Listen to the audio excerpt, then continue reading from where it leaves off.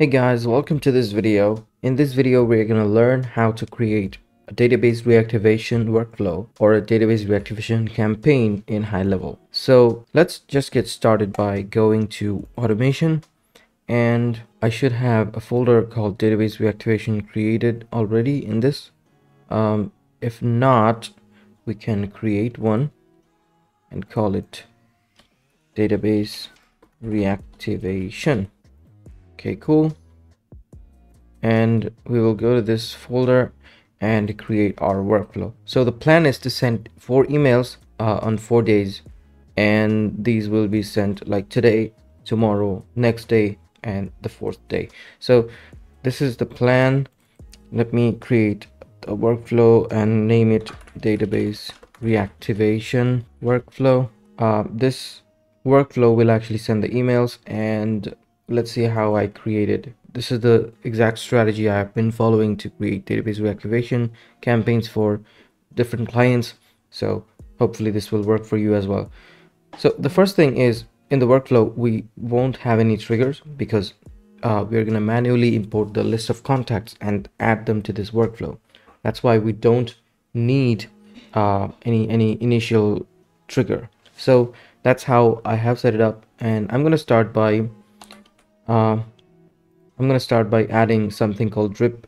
So drip means I'm not sending all emails at once. Instead, I'm sending uh, it in drip mode in batches. And the batch size could be 100, could be 200 based on how much warmed up your email uh, is. So I'm, I'm going with 100 emails every every 30 minutes. So I'm calling it 100 by 30 because 100 emails every 30 minutes so that's the drip mode and this is going to be my first email right? So i'm calling it email one. I'm keeping from name from email blank for now. And i have i've written just a four day email sequence for a tree service company uh you know just to give you guys an example that's all. And so if i come over here copy and paste everything and change some of the stuff using custom values um,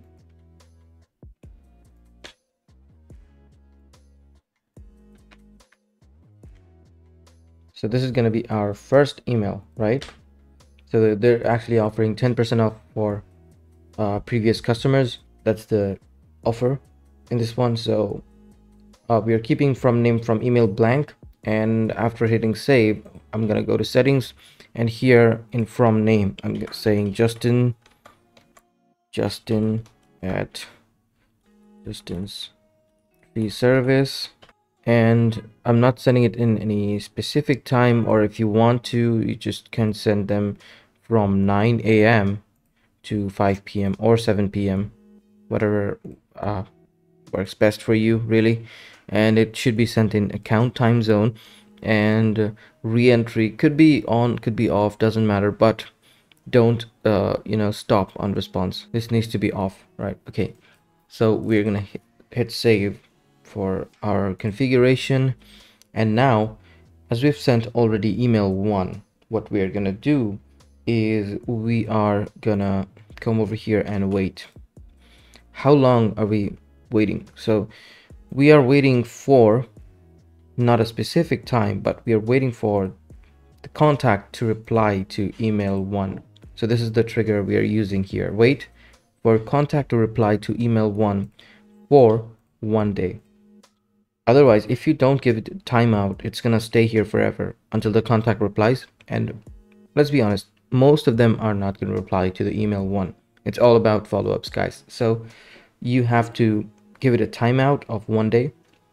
Again, we are waiting for one day for contact to reply we are waiting for contact reply to email one. Now what we're going to do is we're going to check if condition replied. This is the condition. And we're going to check if the reply is positive. So how do we check if it's positive?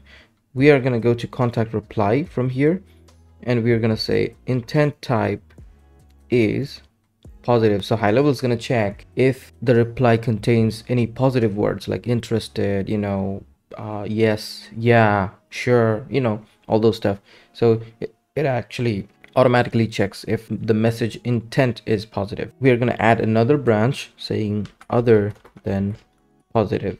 So now in this branch we're going to check again. Contact reply intent type is not positive. So the first one we are going to check if it's positive. The second one we're going to check if it's other than positive anything other than positive. And we're not going to add any branches anymore. So now what happens is we are sending email one waiting for one day to reply. If they reply and if their reply is positive it's going to go here. If it's other than positive it's going to go here. And if they don't reply they're going to go to this branch called none. So now if the reply is positive we're going to send them an email saying uh, thanks for your interest. Uh, hey thank you for your interest in 10% off uh, offer.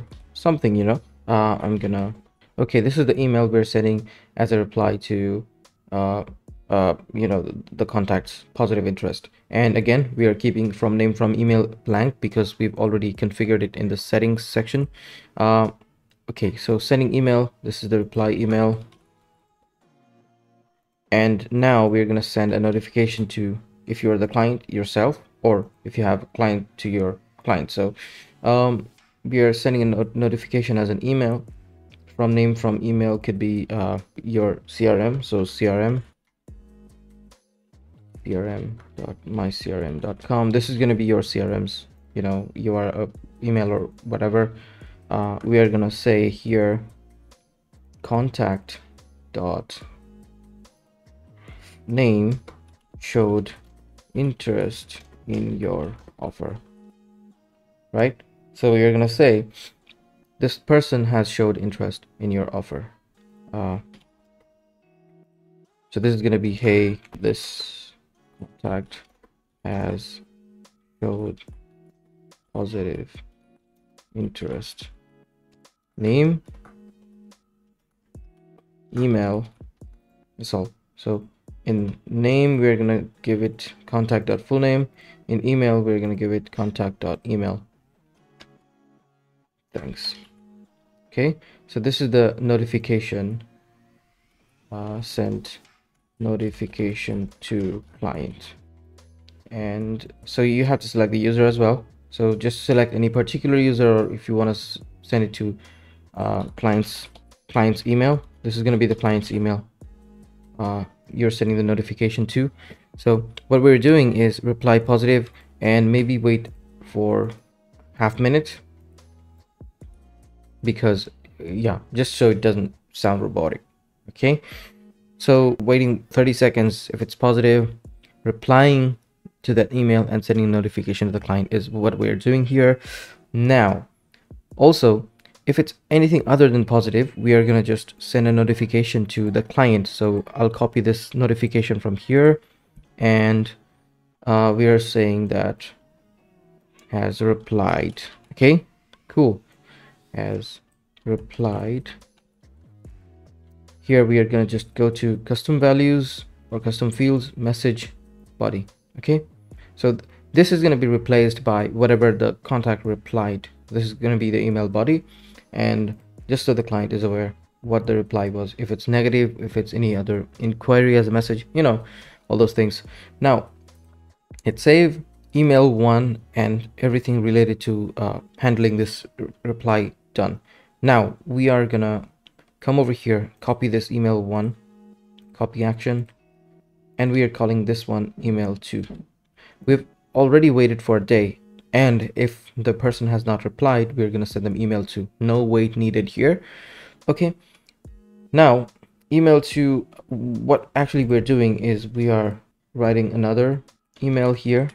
And just uh, copy this copy this stuff from here. And now we're going to write down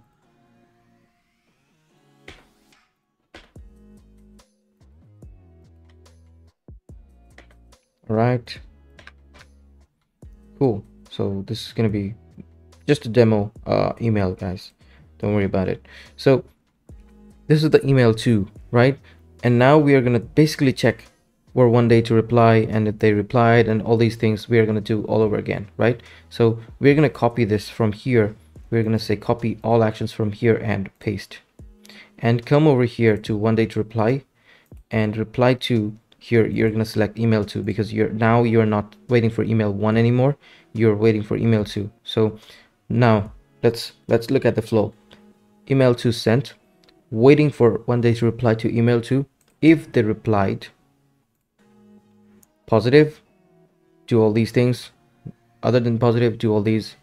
And if it's none what we're going to do is we're going to send email 3 and email 3 is going to be the day 3 email right so i'm going to copy this from here. Paste it. Um, and just format this the best way possible. Just use some custom fields. That's your email 3 right? Cool. Um, save it again. Copy this from here from the wait step uh, wait step and paste it here and now in wait one day you're actually waiting for email 3 instead of email 2 right? So again send email 3 wait for one day to reply to email 3 if they reply positive this happens. If it's other than positive client gets a notification uh, with along with the context reply. If it's none or if it's not uh, there was no reply send email 4 all right cool. And now again just uh, copy all actions from here paste it here. Now wait one day to reply. Should be email 4 instead of email 3 now again send email 4 wait for one day to reply.